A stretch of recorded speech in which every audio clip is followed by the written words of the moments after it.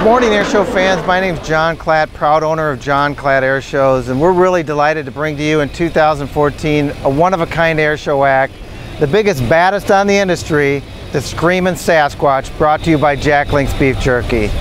We partner with Jack Link's Beef Jerky to produce this one-of-a-kind, unique air show airplane that would embody the spirit of Jack Link's Beef Jerky.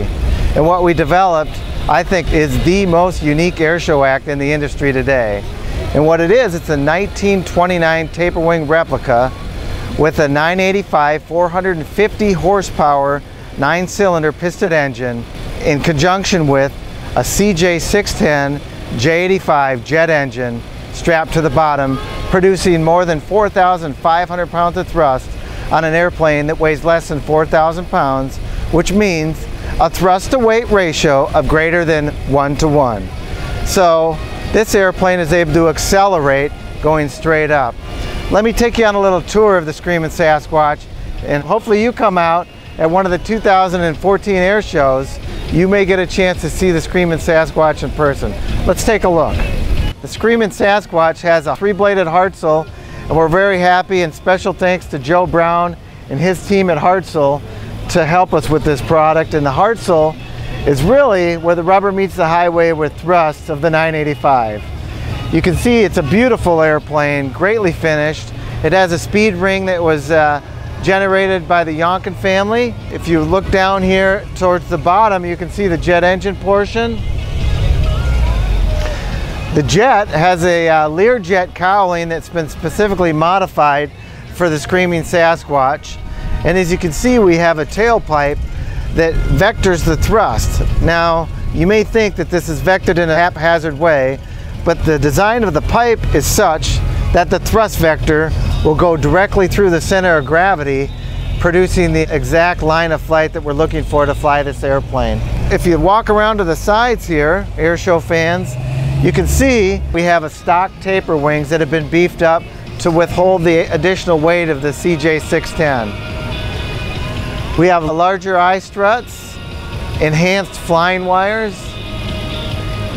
The tubular structure of the airplane, there's actually a modernized carbon fiber top. This top piece is all carbon fiber. It's a one-piece carbon fiber mold and it allows easy access for mechanical repairs and me mechanical inspection. The airplane, we actually moved it back, the cockpit back one bay from a, if you get a chance to look at what a 1929 taper wing looked like, this airplane has a little bit more of a, a, a racing look to it. We did that to improve the center of gravity and give it the, the pilot enhanced visibility. Take a look at the cockpit. It has a modern, brand new MGL EFIS system that is designed to monitor both engines in one display. It also has the ability to have AHRS, GPS, and all-in-one instrumentation. The tail is a very unique tail. As you can see, Sasquatch is, is a huge part of this airplane and he, he rests proudly and watches over his airplane on every flight.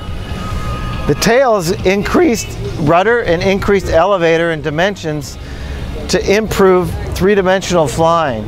With the, with the improved thrust vector, we anticipate this airplane to grow into some very unique maneuvers and you're going to actually see today that the Screaming Sasquatch is the only airplane on the airshow industry today that can come to a hover, stop, and accelerate. So today you're going to see this airplane fly up to 1500 feet, reduce thrust on the 985 and the CJ610, bring it to a stop, park it in the sky, hover, and accelerate up to 80 knots and top out.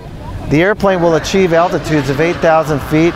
We'll perform a maneuver that we call the Screaming Sasquatch, where we draw two S's in the sky, and virtually this is four Immelmans back to back. I don't know another airplane today outside of a, a modern fighter jet that, that has millions of dollars invested that will do four back-to-back -back Immelmans and end up at 8,000 feet. From there, you're going to see the pilot maneuver the airplane into an inverted flat spin from 8,000 feet and bring it right back down to show center. So you're going to see this airplane do some very unique things today, and it's a one-of-a-kind experience. We're excited that you're here. My name is John Klatt, owner of John Klatt Air Shows, and we're proud to bring to you Jack Link's Beef Jerky Screaming Sasquatch. Come out to the Oregon International Air Show and look at a 1929 taper wing Waco with a jet engine strapped to the bottom. Can't wait for you to see it. We'll see you there.